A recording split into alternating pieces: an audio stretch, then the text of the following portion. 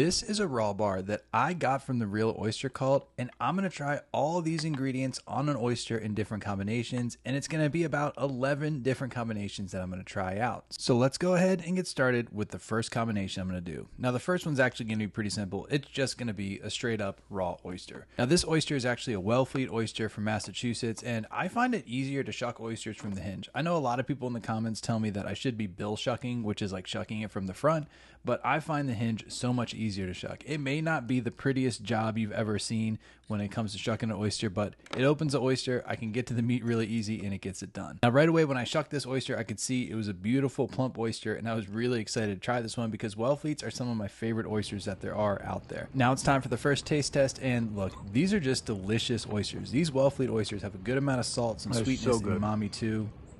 They're just so fresh and clean with a little bit of brine too. Like it is such a good oyster. Now, for the first few oysters, I'm going to keep it pretty simple and just do one ingredient on each oyster. And I'm going to stay with the Wellfleet oysters for most of this taste test.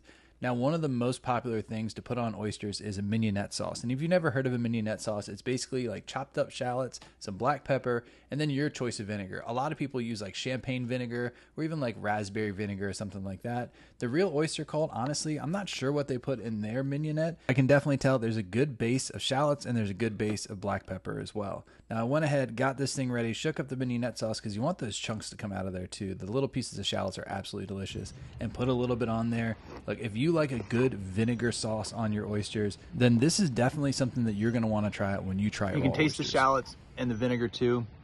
It's a good combination. It's not my favorite, but it's a good one. The next combination I'm going to try is a haze mignonette. I've never heard of this before, and what it basically looks like, it looks like it's horseradish, some vinegar, and some ginger as well. Now, I'm not going to lie, I didn't think I was going to like this combination. The combination of horseradish and vinegar and ginger all together just didn't sound like something that was going to really sit well with me, especially on an oyster, but I was definitely willing to give it a try. Now, this oyster shell actually broke in half as I was shucking it, and you can barely see it there, but there is actually words imprinted on the shell. Now, if this happens to you and the shell breaks in half, just carefully get the other half off with your knife, cut the adductor muscle there, and you should be able to salvage the oyster despite messing up the shell. Now, go ahead, cut that adductor muscle on the bottom there, and get it ready to slurp down.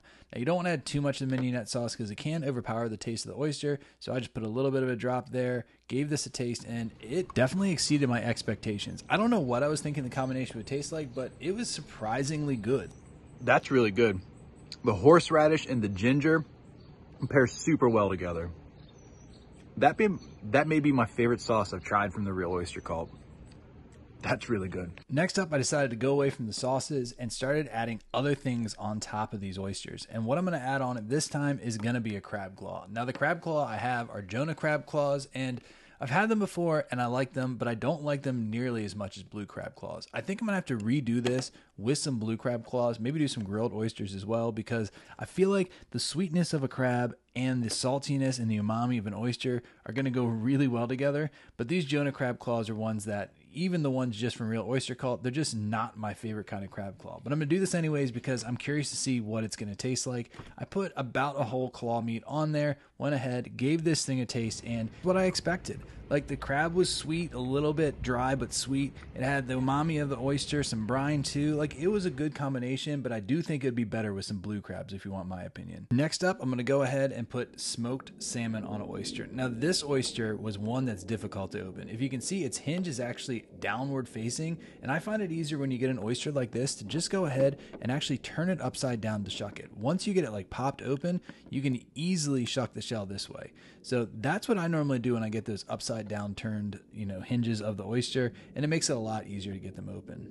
Now, there may be other ways to do this other than shucking from the hinge. Maybe bill shucking is better for this kind of oyster. This method seems to work for me. Now, I put some smoked salmon on this, and in hindsight, I put way too much. I should have put like little diced up pieces on there because the smoked salmon definitely overpowered the oyster. You couldn't taste the oyster anymore. All you could taste was the smoked salmon, and I want both of those flavors to be present, not just the smoked salmon to overpower. The next oyster I grabbed had some trouble. Now, if you're looking at this oyster right now, you can see the oyster is starting to flake and break. When this happens, you can either give up and kind of throw out this oyster, or you can figure out a different way to shuck it. So basically, what I had to do here is just piece it together. What I decided to do is go ahead and flip this one upside down and shuck the oyster so the oyster actually stays on the top of the shell. Now, even with that kind of idea, It was a total mess because this oyster shell was so flaky, but I went ahead and grabbed my next ingredient, which is going to be the salmon pate, and put it on there. Now, I like a good cream cheese kind of based thing on my oyster, and this was no exception. This one had jalapeno and smoked salmon and the cream cheese.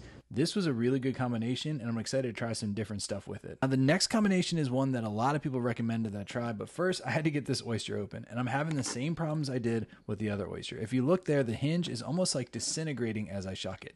Now, that can be due to a lot of reasons, including like disease of the oyster itself or just the oyster growing too fast. But if it happens, you just got to find a way to get in there. Now, I absolutely butchered this oyster, but I'm still going to put some caviar on it, and I'm going to give this a try. There's no point of wasting an oyster because it's a little bit mangled. So I went ahead, put that caviar on there, gave it a try, and this is actually a good combination. I do like smoked trout roe better than caviar, but this was a good one, and I think some of the combinations I'm going to do with it are going to make it taste even better.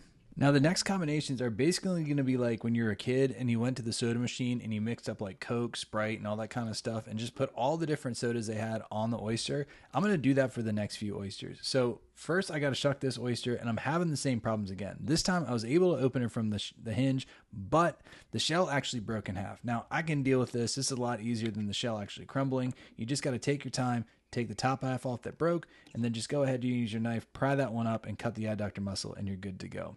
So for this combination, I'm going to go ahead and put some salmon on there. And this time, instead of putting a whole piece of salmon on there, I'm going to put like little strips of salmon on there to not overpower it. Next, I want to put some caviar on top of that. Not too much to overpower it again, just so you can taste the caviar. And then some of that salmon pate. This is really similar to one that I had called Millionaire Oysters. And let me tell you, this was a delicious combination everything paired together really well. And it's definitely one that if I was having like a party or wanted to impress people, I'd be putting this one out there because it was a good, good combination. Maybe a little bit of hot sauce would make it even a little better though. This next one might upset some of the seafood purists out there because I'm going to go ahead and just put everything together. I use the salmon as kind of like the roll base. I picked some of the Jonah crab meat, put some of the caviar on top of that.